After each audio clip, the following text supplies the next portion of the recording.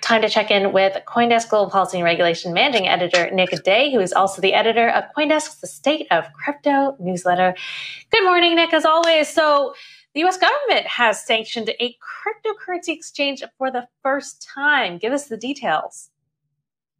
Good morning. Yes, yesterday the United States Treasury Department announced that it was filing sanctions against Suex.io, which is uh, nominally a, a, Czech Republic based exchange, but it appears its offices are actually in uh, a couple cities in Russia. It does not appear to have a physical presence in the Czech Republic.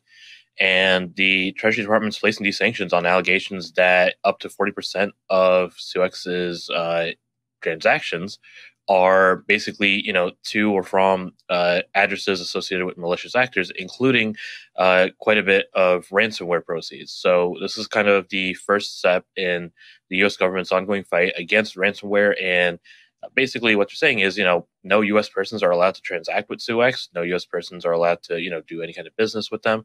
Any property will be seized. And you know they're trying to block Suex out of the uh, you know any part of the American financial system. Uh, Nick, Gary Gensler made a range of comments uh, yesterday. What, in your view, is the greatest takeaway?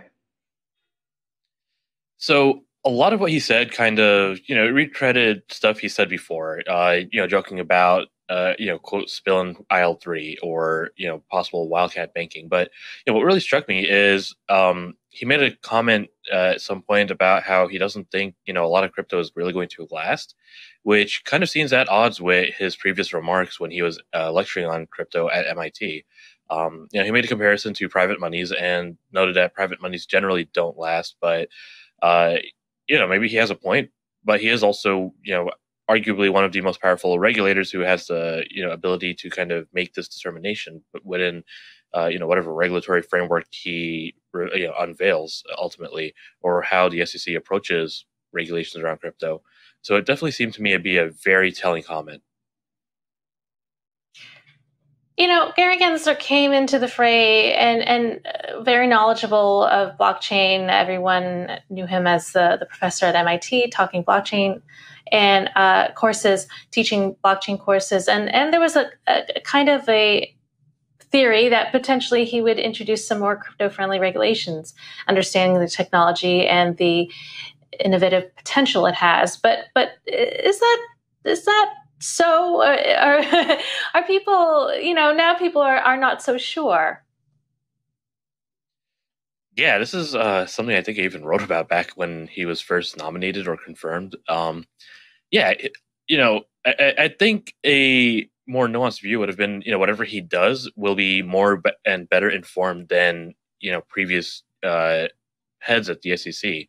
But um, you know, if you look back to his tenure at the Commodities Futures Trading uh, Commission, uh, he did a lot. He had a lot of work in just building out new regulations around derivative products and complex derivatives products, and you know, basically trying to rein in, you know, what at the time would have seemed like a pretty, uh, you know, wild sector of the financial market. So, I think you know, if you look back at his tenure, this shouldn't be too much of a surprise that he's come out, you know, making all these claims and statements about crypto regulation. But um, I'd also, I think, uh, I should point out that he hasn't actually, you know, instituted any of these regulatory reforms yet. So, you know, we have yet to see if he's uh, if his bite matches his bark, or if this is kind of the warning shot uh, to try and get the crypto industry to rein itself in on some of the uh, you know more questionable parts that he has pointed out, and uh, you know it's very possible that he still has yet to, you know, however he defines the actual regulations, if there's guidance or if there's more enforcement actions or whatever,